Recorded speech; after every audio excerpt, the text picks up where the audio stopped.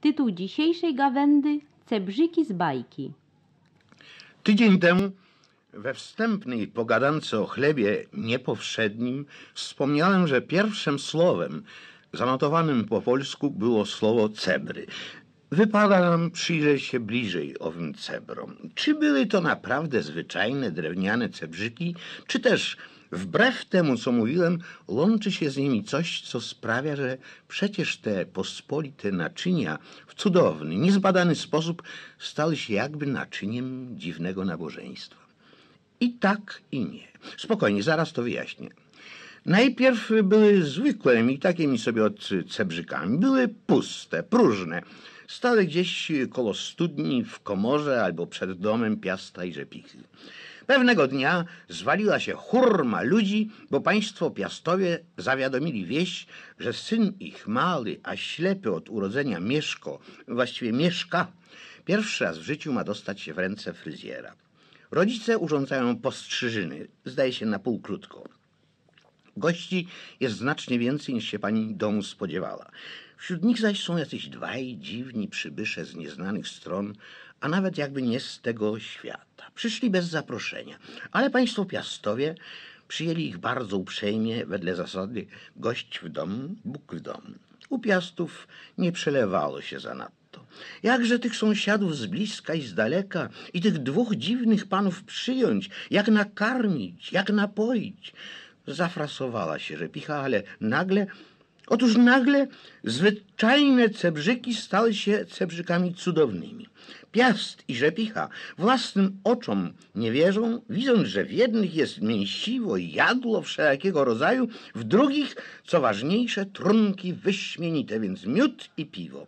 Starczy, starczy dla wszystkich i jeszcze zostanie sporo na poprawiny. Po prostu cud.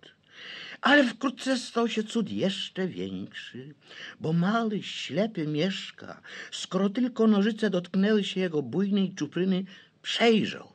Po raz pierwszy ogląda Boży świat. Szepce do siebie ze zdumieniem, jakież to wszystko piękne. Niebo, słońce, rzeka, drzewa, łąka, kwiaty, jakie piękne. Rodzice beczą na głos, całują chłopaka, tłum zbiega się dookoła niego i jakoś nikt nie spostrzegł, że dwaj dziwni młodzieńcy ulotnili się. Nie ma ich. Przyszli nie wiadomo skąd i nie wiadomo dokąd skierowali swe kroki. Może mieli skrzydła u ramion, może sfrunęli z nieba, by wylądować pod zagrodą Piasta. Może teraz, gdy nikt nie patrzył, wystartowali z powrotem prościuteńko w błękit, słońce. Dzielem tych dwóch wysłańców niebiańskich musiały być dwa cudy, więc to, że puste cebrzyki napełniły się jadłem i napojem oraz, że mały Mieszka nagle przejrzał. Któż inny mógłby tego dokonać, jeśli nie oni? Tę śliczną bajkę w takiej formie, jak ją opowiedziałem, albo znacznie rozbudowaną, zna każdy Polak, zna każde dziecko. Zaplodniła wyobraźnię poetów i malarzy, a mamy ją do zawdzięczenia kronice napisanej za czasów panowania Bolesława Krzywoustego przez cudzoziemca o nieznanym pochodzeniu i nieznanym nazwisku. Anonim, inaczej Gallus Anonim. Czy zasłyszał skądś tę bajkę, której treść rozegrać się miała na półtora wieku przed jego przybyciem nad Wisłę, a mówiła o pierwszym historycznym władcy Polski? Jeśli nie zasłyszał, wtedy wyssał ją z palca, ale z palca na pewno serdecznego.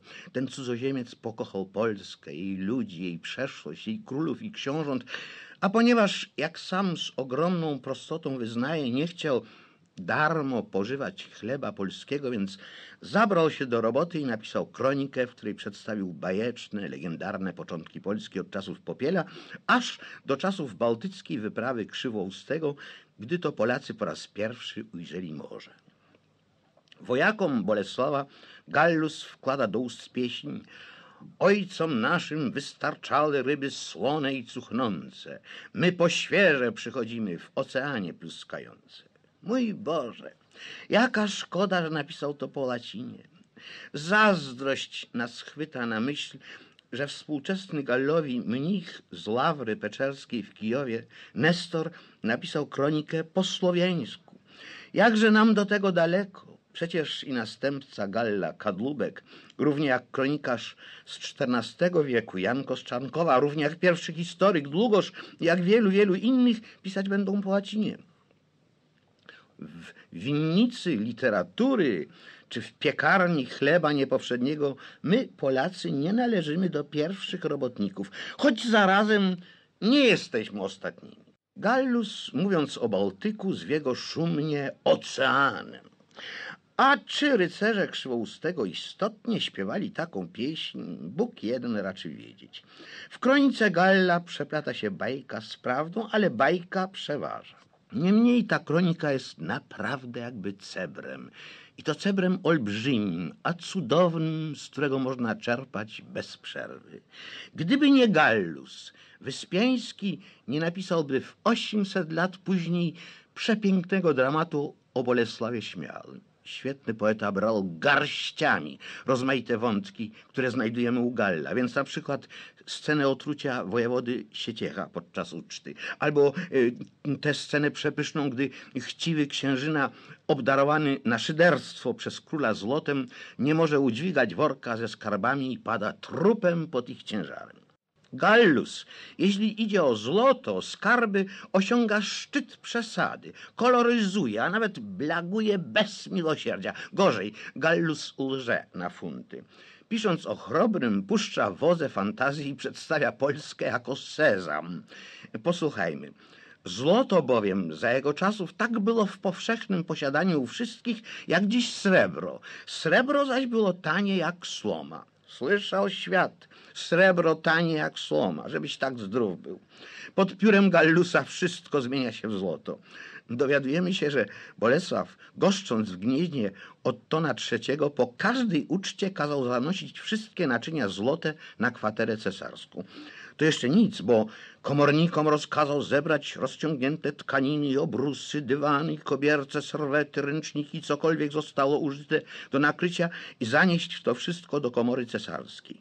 Nadto także wiele innych podarował naczyń, mianowicie złotych i srebrnych rozmaitego wyrobu, płaszcze różnego koloru, ozdoby niewidzianego dotąd rodzaju, kamienie drogie, nawet żaden z niezmiernie licznej służby nie odszedł bez podarunku. Hm.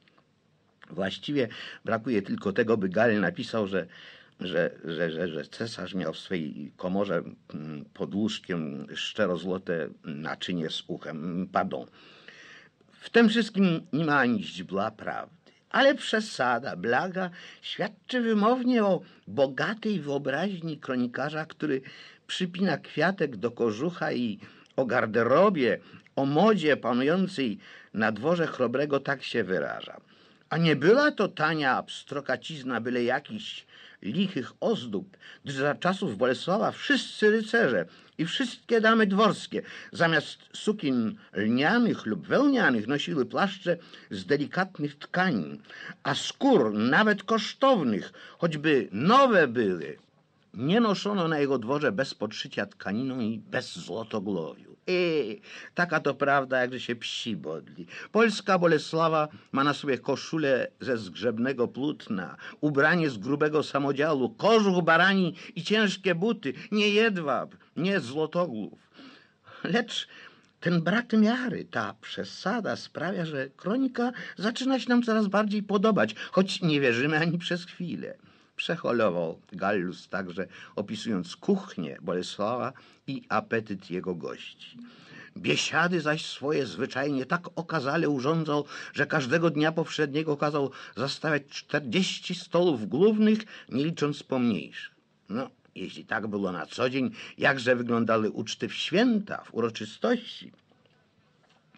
Fantazja kronikarza galopuje zwłaszcza przy opisie cudów męstwa i odwagi, jakich dokazał Bolesław Krzywousty, który, mając pod naklem całej parady siedmiuset rycerzy, natknął się w gęstym borze na czterdzieści tysięcy wojska nieprzyjacielskiego. Żywa noga nie ujdzie. Siedmiuset przeciwko czterdziestu tysiącom. Cóż za dysproporcja sił.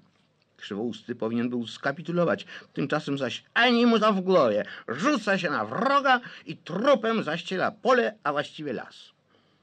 Ale ta przesada, zarówno w opisie bogactw, jak w opisie przewag rycerskich, świadczy, że Gallus był człowiekiem oczytanym, kutym w literaturze na przykład francuskiej, w której także spotkać się można z cyfrą kilkudziesięciu tysięcy przeciwko garstce bohaterów. Po angielsku powieść zwie się fiction, czyli fikcja, zmyślenie. Kronika Galla w pewnej mierze jest jakby fiction, jakby powieścią wyimaginowaną, ale ta fikcja splata się mocno z rzeczywistością. Autor musiał haftować, chcąc przedstawić dawne, mityczne czasy popiela. Musiał cyganić, opierać się na jakichś bajkach, podaniach. Gdy zaś przeskoczył tę legendarną epokę, Małą chyba miał pomoc w postaci archiwów, źródeł historycznych i dokumentów, choć już była za jego czasów kapitulna biblioteka w Krakowie, której katalog sporządzono w 1110 roku. Ale ta biblioteka zawierała przeważnie dzieła poetów i prozaików rzymskich, a poza tym psalterze, Biblię, zbiory modlitw itd.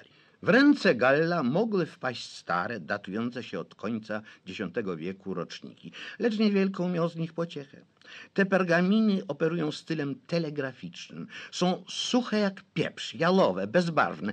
Więc na przykład 965 Dobrawka przybywa do Mieszka. Albo Mieszko umarł. Data, dwa słowa i kropka. A przecież kronika Galla nie jest ani sucha, ani bezbarwna. Przeciwnie, odznacza się życiem, zmiennym rytmem. Używa raz prozy, raz wiersza, to znowu posługuje się zmyślanymi oczywiście listami czy jakąś uroczystą orację. Ma nawet przebłyski humoru. Nie ma natomiast ani jednej, jedynej daty. Po pewnych drastycznych epizodach autor umie prześlizgnąć się albo je przeszmuglować skąpi słów, pisząc na przykład o tym, że krzywousty oślepić kazał swego brata Zbigniewa. Lakonicznie załatwia się ze sprawą zabójstwa świętego Stanisława, notując zaś fakt wygnania Bolesława Śmiałego, wykręca się sianem, gdyż czytamy tylko tyle, że długo byłoby o tym mówić. Szkoda, że ograniczył się do tej wymówki. Osiem wieków po powstaniu kroniki rozpalił się namiętny spór uczonych polskich, którego tematem było kilka, właściwie tylko jedno słowo, jakiego użył Gallus, pisząc o zabójstwie. Gdyby się rozgadał szerzej, nie byłoby sporu, a sprawa byłaby jaśniejsza. Gallus koloryzuje i zmyśla. Jednak taki był wtedy sposób pisania kronik, taki styl czy szablon.